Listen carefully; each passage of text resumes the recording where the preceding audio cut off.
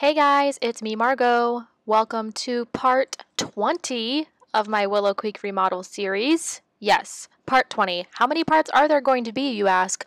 21. What does that mean? This is the second to last part. I cannot believe it. I cannot believe it's almost over.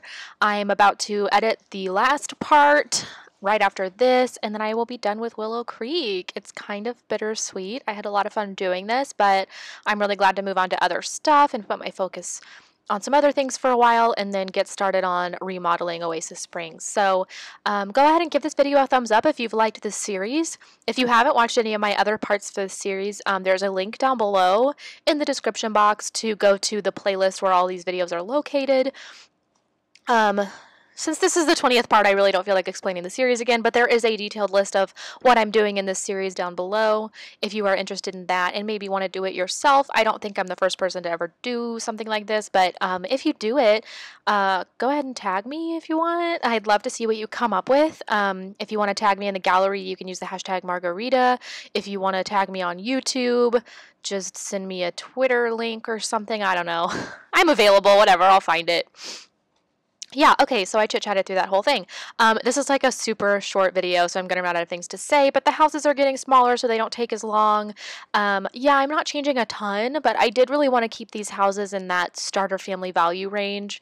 Um, so I didn't add a lot to it, but I still wanted them to kind of look like somebody actually did live there. So that was kind of a line that I was trying to walk with doing these smaller houses um, in Willow Creek. So yeah, this is the Streamlet Single House.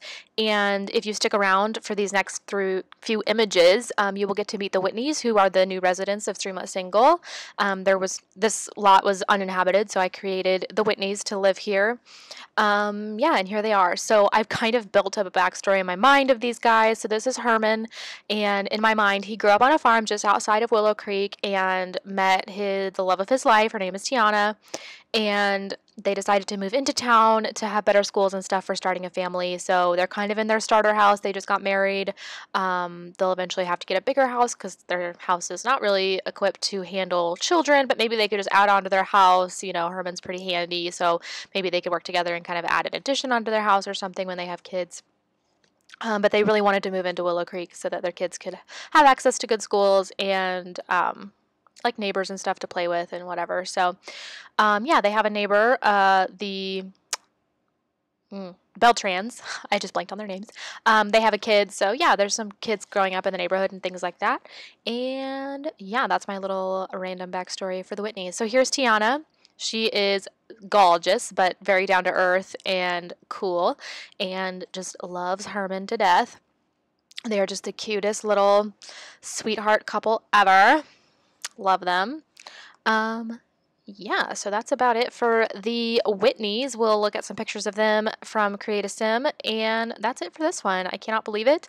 Um, the next one will be up tomorrow, part 21, the final part to this series. And thank you guys so much for watching, and thank you for your support. I love hearing feedback, so go ahead and leave a comment down below what you think of my videos, what you want to see more of, what you want to see less of. I'm totally open to feedback, and I love interacting with you guys.